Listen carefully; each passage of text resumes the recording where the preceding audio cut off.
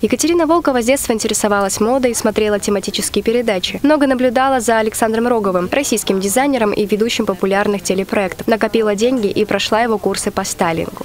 Когда я обучилась у него, это было в онлайне, я вот как раз-таки ближе к 18 годам заявила везде, что я стилист. То есть я просто начала себя так называть и узнала, что есть конкретные услуги, которые стилист предоставляет. И в своем а, блоге а, я начала, да, в запрещенной соцсети Инстаграм, я начала рассказывать о том, что я стилист, и рассказывать там, как сочетать, что носить.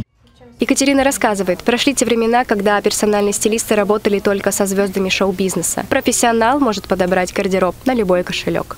Своя самооценка у меня, конечно, поднялась. Я сменила имидж, я сменила маленько гардероб. То есть какие-то вещи у меня были, но я добавила для этого еще какие-то вещи. То есть мне получилось более больше образов, куда можно выйти и как выйти.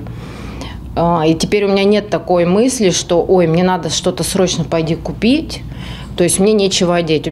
Екатерина признается, что давно мечтала попасть на красную ковровую дорожку. И вот это осуществилось. Суть премии «Персона» – собрать специалистов со всей России. Анкетирование, тесты, конкурсные заявки, предоставление портфолио, отзывы от клиентов и оценки членов жюри. Поддержать Екатерину на премию поехал ее ученик Сергей Исаев. Для меня это очень важно, поддерживать своего кумира, наставника. Вот. Я очень рад, что я вообще, в принципе, с ней познакомился. Для меня Катя это супер, мега перспективный человек. Она просто покоряет всех своей харизмой, и я думаю, что мне хочется быть таким же, как она.